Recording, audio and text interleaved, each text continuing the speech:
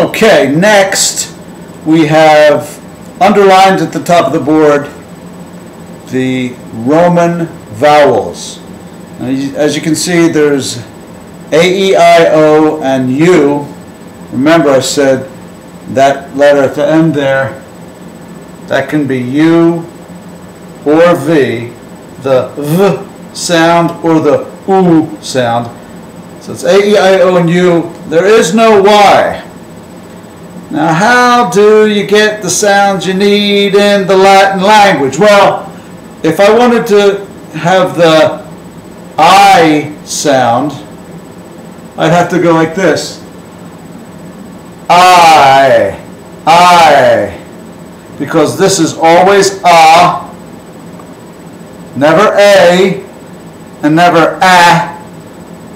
This is always a, and this is always e.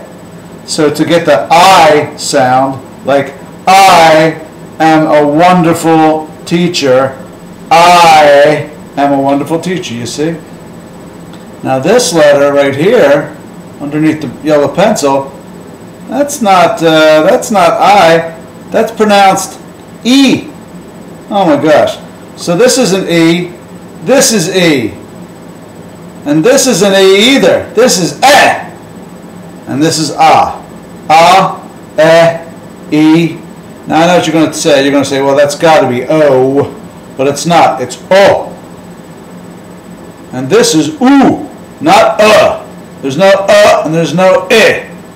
So we have O, if you want to make the O sound. But in, if you want to make the, the U sound, we have oo, o, o. And if I wanted to say, uh, yo, Adrian, I'd say EO, EO, Adrian. That's how you get the Y sound. That's why you don't need a Y in Latin. You don't need a K because that's how you make the hard k sound, right? So that's k. All right.